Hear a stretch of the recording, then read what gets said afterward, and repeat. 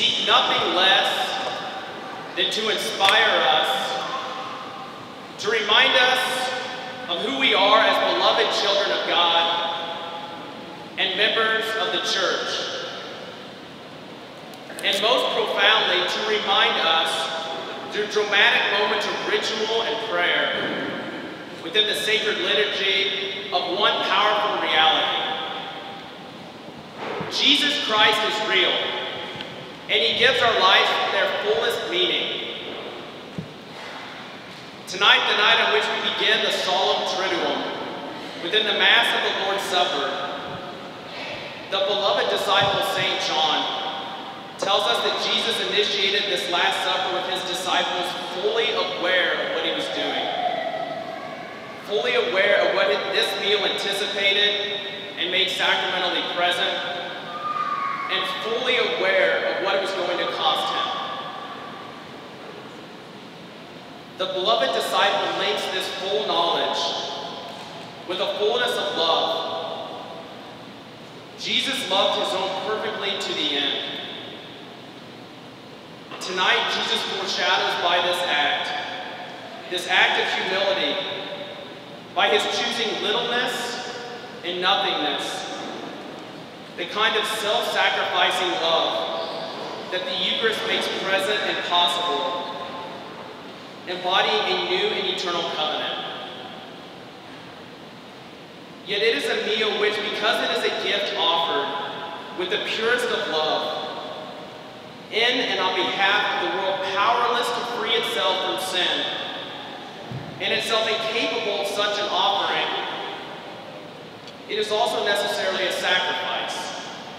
A sacrifice whose completion or fulfillment and whose real cost will be made manifest tomorrow afternoon on Good Friday on the cross. The meal he is about to share with his disciples will become the sacrament, the efficacious and living sign of the one perfect sacrifice of pure love, the most pure love, perpetually present and available to all of us, his followers, not only as a wonder for our adoration and contemplation, but as our very food and drink, what will sustain us on our path and journey to heaven. The Eucharist, bread and wine, sacrificed and transubstantiated by Christ through the words of the priest, into the efficacious and living sign making present the one perfect sacrifice of Jesus Christ on the cross. As our own Venerable Fulton Sheen said, there are no two substances in nature that have to suffer more to become what they are than bread and wine. Wheat must pass through the rigors of winter, be ground beneath the Calvary of a mill, and then subjected to purging fire before it can become bread. Grapes, in their turn, must be subjected to the Gethsemane of a winepress and have their life crushed from them to become wine.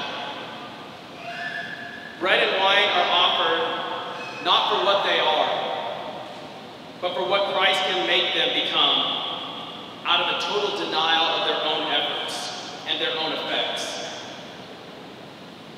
Bread and wine symbolize the passion and sufferings of Christ and the condition of our own salvation. For our Lord said, unless we die to ourselves, we cannot live in him. This is a complete reversal to the way we think it should be, right? Trial and suffering lead to glory. Sacrifice and gift of self without all the answers or backup plan lead to our freedom. Death leads to life.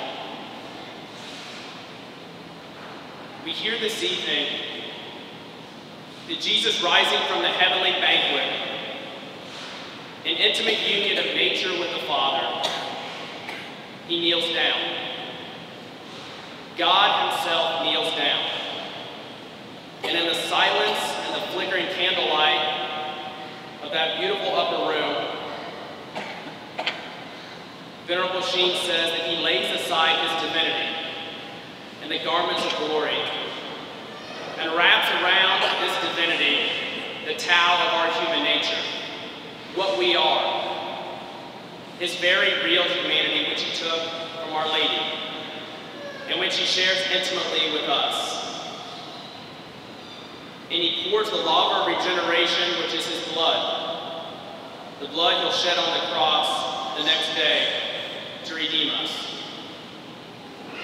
And he begins to wash the souls of his disciples, whom he's chosen to follow him so intimately as his priests. In this indescribable moment, no doubt, for these men, Jesus teaches them, and he teaches every priest an irreplaceable lesson. It's not about what you bring to the table. Your power, your control, your security, your ease, your comfort, your efficiency, your success. None of these things will change the world. He establishes for us in himself a new pattern, a new way of existing, a new way of being, a new way of living, a new covenant. Offer, for your, offer yourselves in the same way that I am. Offer yourselves in the same way I am, in sacrifice, in humble love, in a hold nothing back for yourself, complete agape gift of love. And we know that this is a love that we would never have figured out on our own. A love that we couldn't conjure up within ourselves. As it's a love that's not controlled, a love that's not calculated, a love that's not measurable. A love that doesn't expect something on the other side.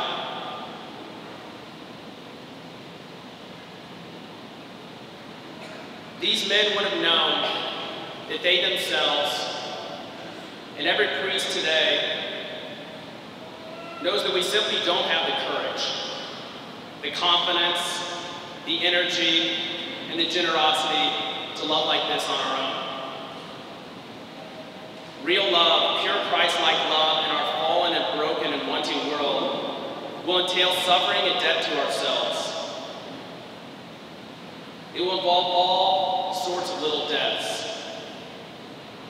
Debt to my ambition and plans. Debt to my willfulness. Debt to my self-constructed identity my ego, debt to my impulse constantly to judge, debt to all my disordered passions and desires, debt to a grasping of anything in the world whatsoever.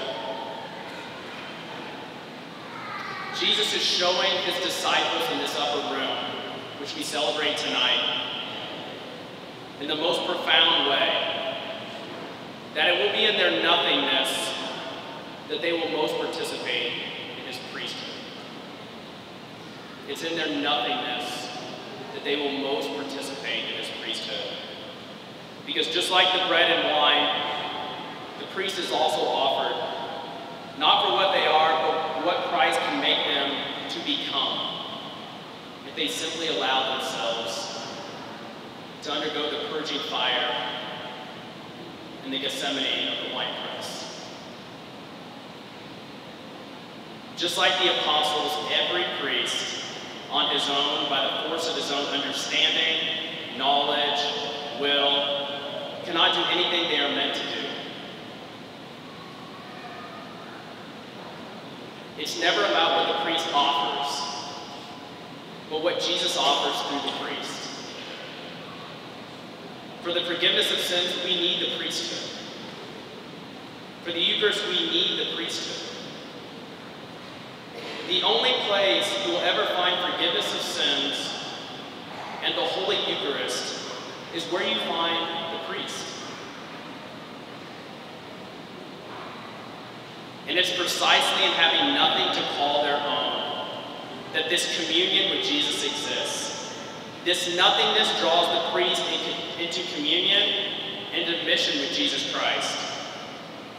This call to service, to sacrifice, the complete gift of self in which we are made the property of another. Something that for a lot of us guys is extremely hard to accept.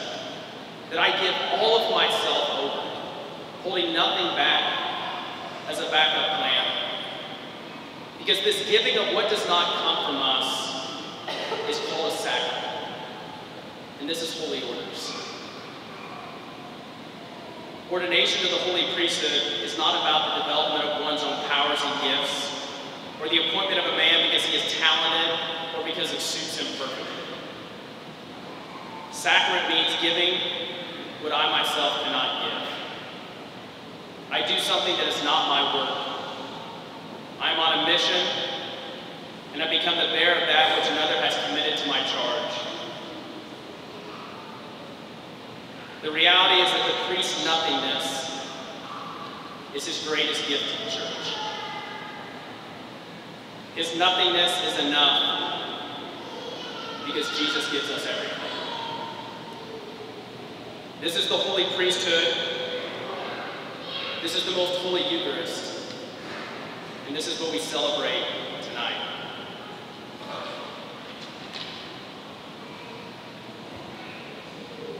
La comida que Jesús comparte con sus discípulos se convirtiera en el sacramento. El signo vivo y eficaz